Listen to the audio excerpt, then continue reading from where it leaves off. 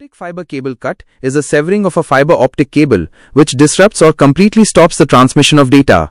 The most common causes are often physical damage from construction work, natural disasters, or even animals. Fiber splicing is the process of permanently joining two fiber optic cables to repair a cut or extend a network. Fusion splicing, using a machine like a Fujikura fusion splicer, is the most common and effective method for creating a low-loss, high-strength connection. Understanding an optic fiber cable cut, a fiber optic cable cut is essentially the breaking of the fragile glass or plastic fibers inside the cable. This can be caused by a variety of factors. Construction and excavation. This is the most frequent cause, often referred to as backhoe fade. Heavy machinery accidentally digs into and severs buried cables.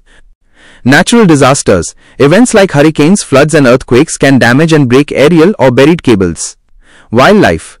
Animals, particularly rodents like squirrels, are known to chew through the protective sheathing of cables, causing damage to the internal fibers. Physical damage. This can be from a vehicle collision with a utility pole, vandalism, or improper handling and installation that bends the cable beyond its safe radius. Fiber splicing and the role